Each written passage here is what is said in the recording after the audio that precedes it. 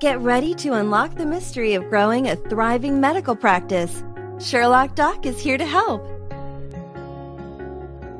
Choosing the right merchant processor for your medical practice will help you save money, ensure smooth electronic transactions, and provide your patients with an optimal customer experience.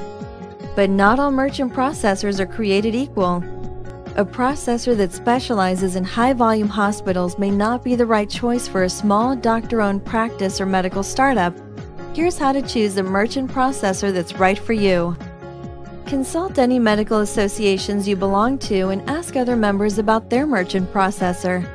Since virtually every type of medical practice needs credit card processing, you're sure to get some great recommendations.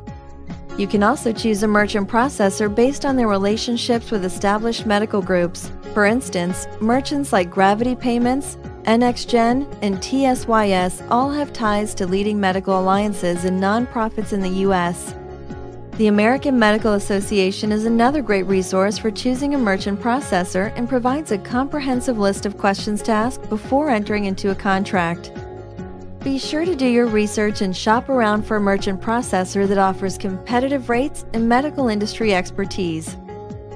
To learn more about medical billing, insurance, coding, outsourcing, and everything you need to establish a successful healthcare practice, Follow all of Sherlock Doc's adventures on the doctorsbusinessnetwork.com or Doctors Business channel on YouTube.